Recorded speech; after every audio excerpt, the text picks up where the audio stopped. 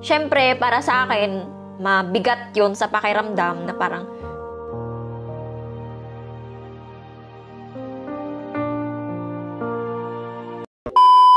Hello mga besh! Welcome back to my channel. Sa mga bago pa lang dito, don't forget to like, comment, share, and subscribe to my channel. And don't forget to ring the notification bell so that you'll be updated on my next videos.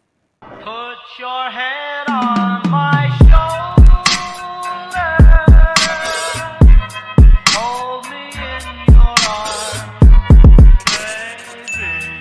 So, paano ko ba sisimulan? In this video, I'm going to share to you the factors of being a YouTuber or my personal experience being a YouTuber, kung ano dapat yung i-expect natin, kung gusto nating mag-vlog, kung mahirap ba, madali ba, ano yung mga dapat nating gawin, paano ba tayo kumikita dito sa pag-YouTube. Ayan. May mga mga ilan-ilan kasi na nagtatanong sa akin kung kumikita na daw ba ako dito, kung paano daw ako kikita dito, And some are also expecting na napakadali nitong ginagawa ko. And yung iba naman nagtatanong bakit daw ako nagvo-vlog, bakit ko daw ginagawa ito. So I'm going to answer your questions now. So first of all, being a YouTuber is not easy. Okay? Huwag na huwag niyong isipin na madali lang mag-vlog, madali lang maging YouTuber. First of all, ano ba ang work ng isang YouTuber? You have to make a video, either vlogs or tutorials, covers, anything you want. Okay? Kung ano yung niche mo, yon gagawa ka ng videos. It means you're going to film. Okay? And sa filming pa lang, hindi na siya madali. It's because kailangan mo siyang ulit-ulitin. Pag may mali, uulitin mo na naman. And napakatagal kasi iisipin mo pa kung ano yung mga sasabihin mo. For my own experience, iniisip ko talaga muna yan bago ako gumawa ng vlog. Iniisa-isa ko muna yung mga dapat kong sasabihin. Nililista ko yan lahat. So, isa pa yon na kumakain ng oras. And then filming, ayan, paulit-ulit. Pag may mali, ay ulitin natin. Pag may kulang, ayan, dagdagan. So personally, umaabot ako ng 1 to 2 hours sa filming. Kahit na 10 minutes na video lamang yan. So vloggers, alam kong nagigets niyo ako. And the next thing is, after you film, of course, you're going to edit. Dito na tayo matatagalan. Sometimes, kung yung i-edit ko, eh maraming cuts, ayan, marami kang dapat tanggalin, ang hirap mag-cut, ang hirap mag-insert ng mga memes, yung mga dapat na sound effect, dapat na background music nung ginagawa mong video. Ayan. So, mahirap siya as in. Minsan, yung isang video, ini-edit ko yan ng isang buong araw. Ayan. Hindi naman literally buong araw as in. I mean, yun lang yung nagawa ko sa isang buong araw. Kasi ang hirap-hirap talaga. Kailangan mong mag-concentrate, kailangan mo pang mag-download ng mga ganito-ganyan, kailangan mong hanapin yung mga kailangan mong ilagay doon. So, hindi talaga siya madali. So, kung iniisip mo, gusto mong mag-vlog, gusto mong maging YouTuber, siguraduhin mo na meron kang patience. Okay? Number one yan. Patience, passion, ayan, kailangan masaya ka sa ginagawa mo, na-excite ka lagi every time na gagawin mo tong bagay na to. So ako kasi, talagang every time na may maiisip akong idea or may maiisip akong content, talagang na-excite akong i-film siya. Na-excite din ako actually na mag-edit kasi kahit noon pa talaga, I love editing, editing photos, editing videos. Doon talaga ako na-excite, doon ako masaya. Yun yung nakaka-satisfy sa akin. Kahit nagawin ko pa siya ng ilang oras, kahit magdamag pa yan, kaya ko yung gawin. So, dapat ganun, may passion ka. And of course, kailangan din natin ng creativity. Ayan, kailangan natin maging creative. Kailangan hindi boring yung vlogs natin. Hindi ko naman sinasabi na hindi boring yung mga vlogs ko. Of course, you will always start sa ganun. And as the days go by, di ba? Mag-i-improve ka ng mag improve So, kailangan mong mag-upload lang na mag-upload, create ka lang ng create ng videos, tignan mo kung ano yung mga dapat mong i-improve sa videos mo, i-improve mo siya the next time na gagawa ka ng videos. Ganon siya. Pag-aaralan mo yung mga ginagawa mo. So, hindi talaga siya madali, guys. Hindi. Hindi. Hindi. Ito lang, ikukwento ko lang sa inyo. Ako kasi, being a YouTuber and being a teacher, okay? Ang hirap. So, 6 a.m. in the morning, gigising ako, pupunta ako ng school, magtatrabaho ako, magtuturo ako maghapon. Pagdating ko ng bahay, diretso yan camera agad. Except kung wala akong maisip na content that day. Pero as much as possible kasi ginagawa ko siyang daily, 'di ba? So, every time pagdating ko ng bahay, diretso yan sa camera. Magfi-film or kung wala pa man akong naisip na content, nag-iisip ako, nagsusulat ako ng mga content ganon.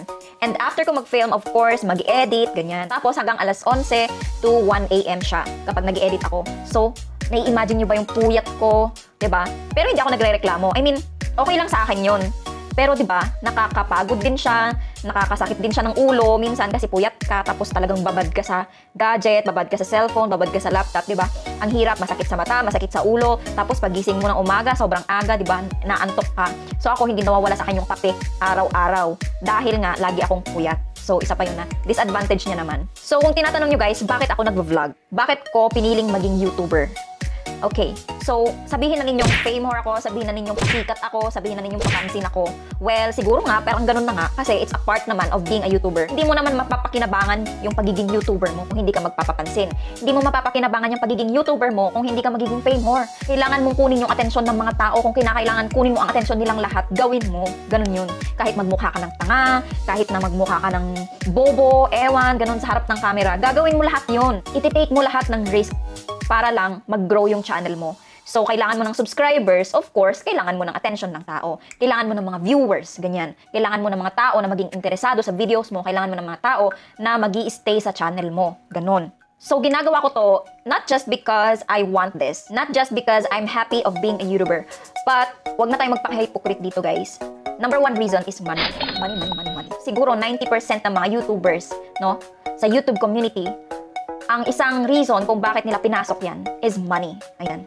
Of course, dito sa vlogging or dito sa pag-YouTube, kikita tayo ng pera dito. So ako, hindi kasi ako nakukontento sa income ko ngayon, sa trabaho ko. Yes, nasa abroad ako. Siguro iniisip niyo marami akong pera, but no.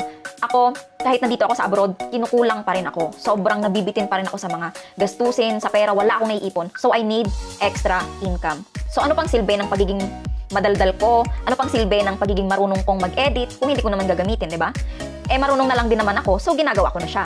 Malay mo, balang araw, di ba, pagkakitaan ko na siya. So, ganun lang yun. Wala namang mawawala sa akin kung susubukan ko, di ba? Kaya kayo, kung iniisip nyo, ay, hindi ko kaya yan, ay, ang hirap, itry nyo, paano nyo naman malalaman, di ba, kung hindi nyo itry. So, yon Kahit na imposible, mahirap, parang feeling nyo, hindi nyo siya kayang gawin. Try nyo lang, malay nyo. Ngayon, paano tayo kikita dito sa YouTube? Ayan.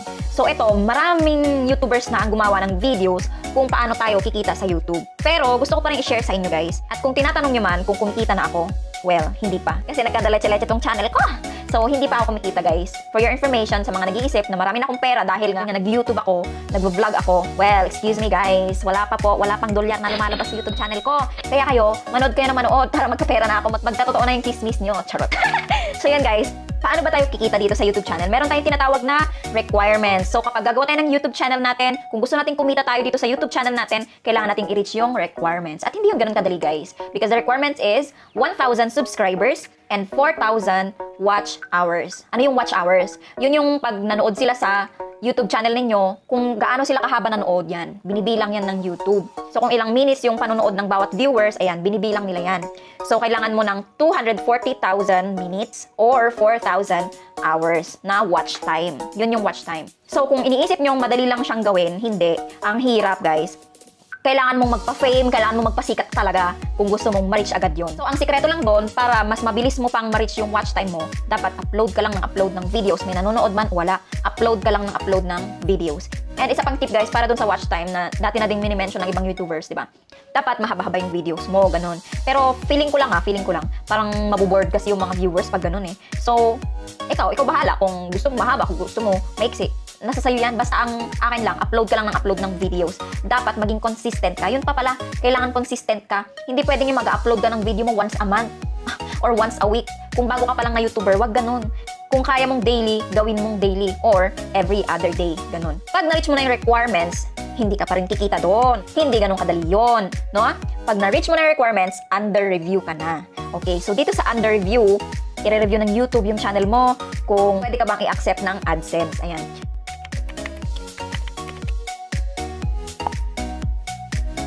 So, i-review kanila ngayon. May ibang YouTubers na days lang, approve na sila. May iba naman na weeks, approve na sila. May iba inaabot ng months, and may iba inaabot pa ng years. Ayan. So, depende. Kaya hindi rin siya madali. Hindi porket na-reach mo na yung requirements, kikita ka na. Hindi, kailangan mo maghintay. Lalo na kung marami kang copyrighted videos, kaya ako. So, kailangan mo maghintay ng mahaba-habang panahon bago ka pa ma-approve. So, pag na-approve ka na, kikita ka na. Hindi pa din. Hindi ka pa din kikita. I mean, hindi ka pa din makakatanggap ng pera. Pero, magsisimula ng papasok yung pera sa YouTube channel mo. Ayan, kasi meron ka ng ads sa videos mo. Ngayon, paano ka kikita pag na-monetize ka na? So, hindi po yon sa views. Hindi rin po yun sa likes, o sa comments, o sa subscribers. Nakasalalay po iyon sa mga nanonood ng ads ng videos nyo. So, pag pinapanood nila yung ads ng videos nyo, kumikita kayo, pumapasok ang pera. Ayan. So, pag may pumasok ng pera, kikita na kayo, makakatanggap na kayo ng pera. Hindi pa rin. Hindi. Kasi, aantayin nyo pang ma-reach yung threshold, which is $100. So, yung $100 na yon medyo hindi yun madaling ipunin according sa mga YouTubers na na-monetize na. So, minsan, umabot sila ng 3 months, I guess, bago nila makuha yung unang salary nila dito sa YouTube. So, 'di ba? Hindi siya ganun kadali. Hindi siya parang kumakain ka lang ng money, 'di ba? Kailangan mo talagang maghintay, kailangan mo maging patient, kailangan mong gumawa ng paraan, mag-isip ka, be creative, kailangan mong ilabas lahat ng sense of humor sa katawan mo, ganon. Nang sa ganon, hindi sila maboard sa videos mo, kahit magmukha ka ng tangago lang, hindi pwedeng nag-iinarte ka, hindi kailangan maganda ka lagi sa camera, hindi yun, hindi lang yun ang puhunan, 'di ba? Hindi mo kailangan magpabebe lang sa camera. Gawin mo kung ano yung mas nakaka-entertain, kung ano yung mas gustong pinapanood ng mga tao. Ganon. So, dun sa unang part kung saan kinokompleto nyo pa lang yung requirements, yun yung pinakamahirap na part ng pagiging YouTuber. Kasi maraming nawawalan ng patience dyan. Kasi nga ang tagal, ang bagal mag-grow ng subscribers. Bakit hindi naman pinapanood ng mga tao? Bakit wala namang nagsusubscribe? Bakit hindi naman nila nakikita sa suggested videos, ba? Of course, ganun talaga pag nagsisimula. Kailangan mo talagang galingan, kailangan mong i-promote yung mga videos mo kasi hindi yan magkukusang lalabas sa mga suggested videos or recommended videos. Kung kinakailangan mong mag-post sa mga social media accounts mo, then do it. Ganon. Huwag kang mahiya, ba? Kasi yun yung paraan para mabilis na mag-grow yung channel mo. Ako, ang tagal na ng channel ko. Actually, 2 years na siya. Magki 3 years na. Pero pinush ko lang tong pag-YouTube ko nung April 2018. Ayan. So, wala pang 1 year. Kasi, doon ko lang nalaman na meron palang tinatawag na monetization. Doon ko talaga trinabaho itong channel ko. So, after months lang siya, actually, nakompleto ko na lahat yung requirements. Bakit? Gumamit ako ng mga trending videos ng PBB noon, nung kasagsagan pa yung PBB. Ayun, 'di ba? Pero copyrighted siya. So, antay ako ng antay ng monetization, ng approval, wala nang dumarating. Lumipas na ang isang buwan. So ako naman, ninervyos na ako, natakot na ako na baka hindi ako ma-approve dahil dun sa mga copyrighted videos ko na yon. So ang ginawa ko, pinag-delete ko lahat. Yon, mga videos na yon, umabot sila ng 145k, 80k, 30k, mga ganon. Ganon kalalaki yung views nila. Dinilit ko lahat yon. So bumalik sa dati yung watch time ko. Kaya hanggang ngayon, inaantay ko pa rin makompleto yung watch time ko. Pero malapit na, malapit na, malapit na. Manood pa kayo. Nood pa guys. Ulit-ulitin nyo. so, ganun. Ang hirap-hirap talaga. Kahit natignan nyo, 2,000 plus na yung subscribers ko, pero yung watch time ko hindi pa rin kompleto, di ba? Ganon, di ba? Nakakawala ng gana minsan. Alam nyo, dumating ako sa point na parang, parang nawalan na ako ng gana. Nagpahinga muna ako actually ng mga 2 weeks, ganon, before. Pero naisip ko kasi sayang naman nandun na, malapit na. So bakit di ko na lang ituloy-tuloy, 'di ba? So tinuloy-tuloy ko ulit until now ginagawa ko na naman. Kaya ito, andito na naman ako sa harap ninyo gumagawa ng video. Pero itong video na to is, ang goal ko talaga dito is matulungan kayo. And ma-share ko din yung tips para sa inyo. Kasi kung gusto nyo din naman gumawa ng sarili nyong channel, di ba? So, at least may matututunan kayo dito sa video ko na to. so, yun. And eto na guys. And ang pinaka-reason ko din talaga kung bakit ko ginagawa tong pag-YouTube is that gusto kong sabihin na lang natin na gusto ko ng mabilisang income. Kasi, syempre, hindi na pabata yung mga magulang ko, yung lola't lolo ko, marami na silang sakit, marami na silang iniinda, ganyan, matatanda na sila. So, syempre, sino bang magpo-provide ng mga pangangailangan nila, ng mga gamot nila, 'di ba? Ako, 'di ba? Kami, kami ng ate ko. Actually, it's my turn na sana na kunin naman yung responsibilidad na tulungan yung parents ko kasi yung papa ko hindi na siya maka-work ng mabigat dahil nga may problema sa kamay niya. And gusto ko naman sana na ako yung sumalo ng responsibilidad na ibigay sa kanila yung mga pangangailangan nila. But then,